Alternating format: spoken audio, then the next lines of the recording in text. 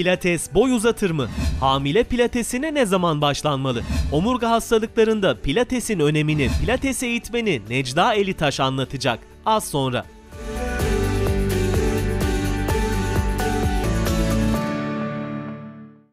Evet bambaşka konulardan şimdi de spora değiniyoruz. Pilates eğitmeni Necla Alitaş bizimle birlikte. Hoş geldiniz. Merhaba, hoş bulduk. Hoş geldiniz. Pilates gene çok Pilates konuşuluyor. mi? Çok konuşuluyor. Pilates Çok gerçekten gündemde. aslında. Evet. Siz Ama iyi doğru- bir sporcusunuz. Ben çok Takip seviyorum ediyoruz sporu. sizi. Evet spor hayatımda çok önemli bir yeri var ama öncelikle pilatesin ne olduğunu, nasıl bir spor olduğunu, kimlerin yapabileceğini öğrenelim sizden.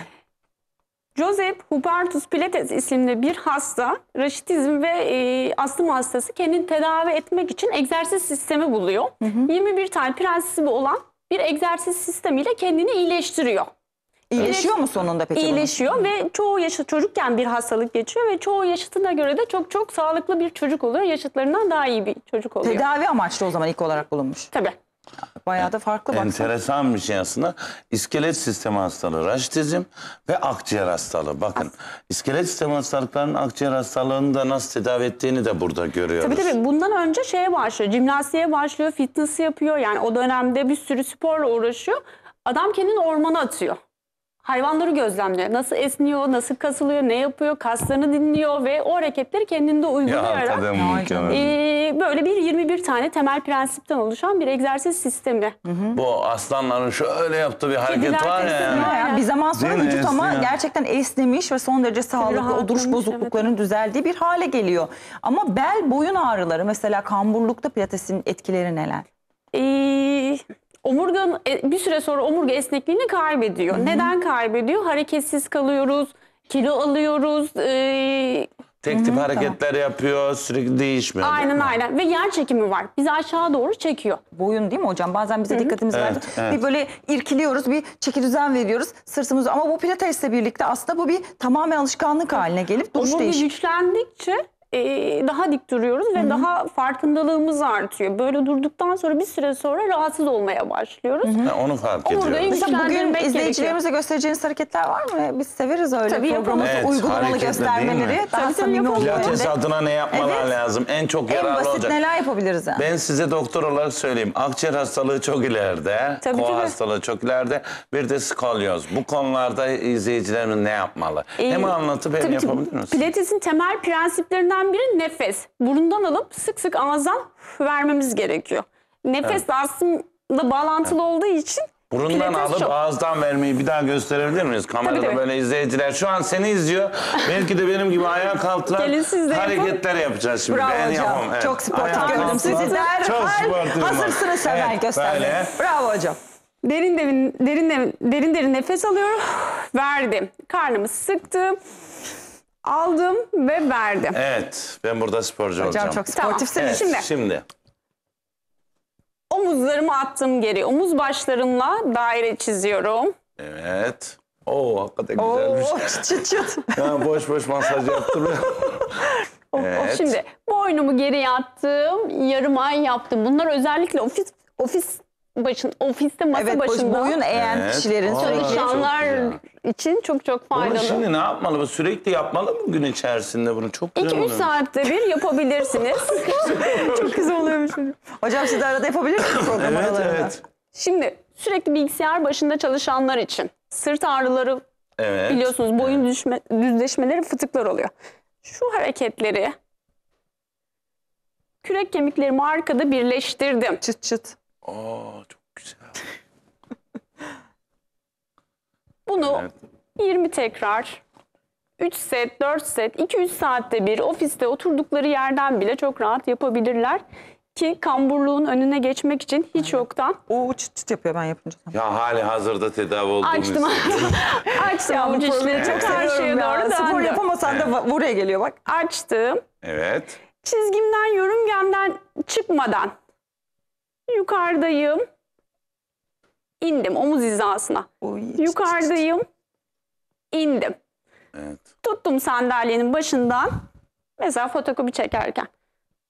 Aç bacağı. Bunlar ev hanımları Evet. evde de gayet rahat yapabilirler. Çok rahat Ama bu bir yapabilirler. bahanedir ya ben spora gidecek vaktim yok. Spora ayıracak param Pazartesi yok. başlarım, Pazartesi başlarım. başlarım, Salı çarşamba. Bugün hafta başı hafta sonu. Şimdi ya bunun bacağımı bahanesi yok. sıkmam mı gerekiyor düz? Hocam çok Popoyu fitsiniz sıktım. vallahi ne yaparsanız. Teşekkür ederim. Sıktım popoyu. Beni unutuyorsunuz ama Hocam Hanım o yüzden hemen araya Pardon giriyorum. konu dikkatim dağılıyor. evet, evet. Ee, bunları yapabilirler. Bunu diğer ayağına da yapabilir aynı. Tabii tabii. Öbür bacağımız geri kalmasın. Popoyu Evet, sıktım, tamam. karnı Evet. sıktım, devam Kaç ettim. sayı yapıyorlar bunu? 3 set 15 kere yapı- yapılabilir. Kişinin gücü varsa, kas kuvveti yüksekse çok çok daha fazla Ama bu yapabilir. zaten yaptıkça kas gücü artacak olan şeyler bunlar. yani. Daha önce var, belki yapmıştır, geçmişi vardı. geçmişi varsa daha da setleri artırabilir. Rakamdan başlasınlar, Başlasınlar. seve seve yükselsinler. Evet, eğlenceli ve insanı sıkmayan bir aslında bir dal pilates. Gerçekten alışkanlık yapıyor insan. Dip kasları da çalıştırdığı için fitness'tan çok çok daha iyi bir spor, egzersiz e, birimi. Hani yormadan, çok fazla terletmeden, eklemleri çok yük bindirmeden e, Pilates'te kilo veriliyor mu? pilateste kilo verilmiyor. Yani şimdi Pilates'te- spor e, sağlıklı ve fit olmak için bizim hep başvurduğumuz, duyduğumuz bir dal. Ama pilates başka bir dal yani. Şimdi hep Niye duyuyoruz ya. göbeğe uygulanan pilates yok mu?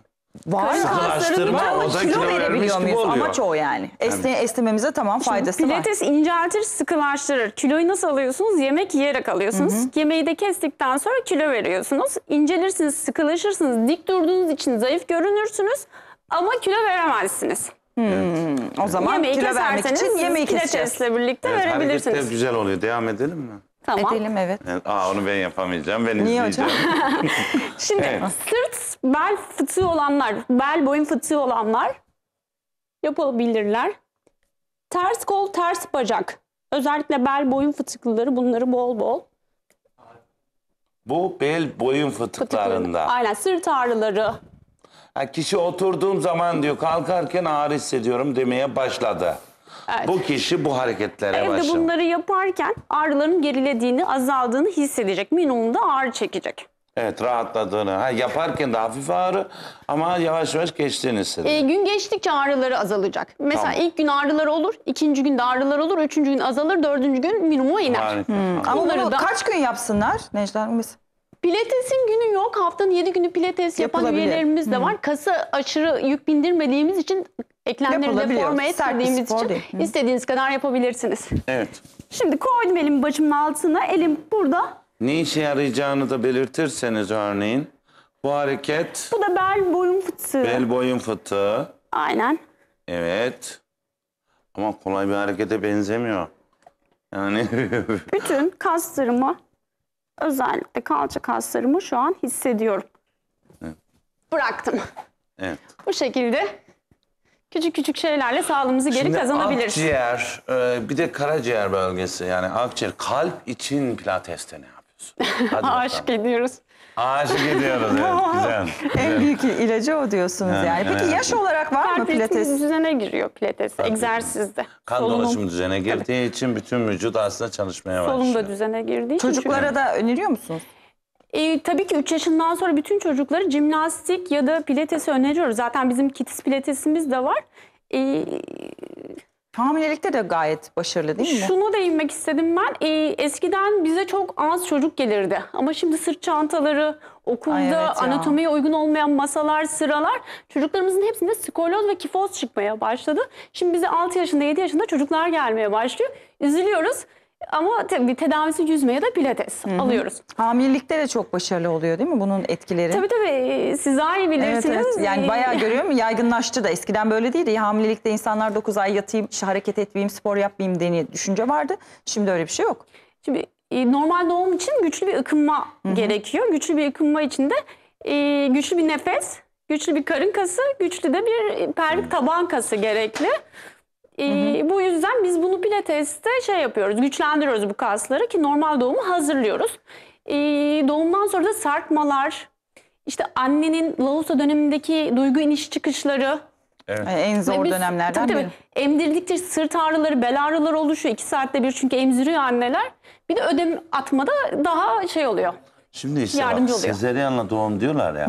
Sezeryanla doğum acaba e, yapılabildiği için mi çoğaldı ya da insanlar kaslarını geliştiremediği için artık sezeryana muhtaç hale mi geldi? Burası çok önemli değil mi? Bence pilates İlk söylediğinizde beni oradan vurdunuz. Yani dedi ya hayvanların hareketinden esinlenerek çıkarılmış. Ben bunu bilmiyordum bu ayrıntıyı. Ama demin Bu yaptığınız hareket mesela ked- kedilerde çok görüyorum Evet. ben değil mi? Esneme Evet. hareketini işte sırtını havaya Ha, kaldır. çok işe yaradı ya. Çok ya, Çok işe yaradı yani. Yani farkındaysanız kediler çok es- özellikle hep sokak görüyorum. kedileri çok esnektir, atılgandır, saldırgandır. Bu da sabahları kalkarken sürekli bir Hep esnedikleri için, akşamları da yatarken sürekli esnedikleri için çok esnek ve aktif hayvanlardır.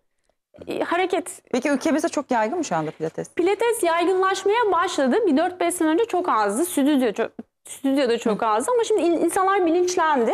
Eskiden bir, bir dönem crossfitler çok çok modaydı. İşte büyük ağırlıklar, zor Kas yapalım. zor evet çok terlemek falan çok modaydı. Şimdi insanlar daha böyle hafif hafif çalışıp e, ihtiyaca yönelik çalışıyor. İnsanlar bilinçlenmeye başladı. Bilinçlenince de stüdyolar arttı. Peki çok teşekkür ediyoruz. Ben çok teşekkür Pilatesle ilgili ediyorum. verdiğiniz Necla Hanım. bilgiler için Necla Hanım. Evet iyi ki varsın tüm hızıyla devam ediyor.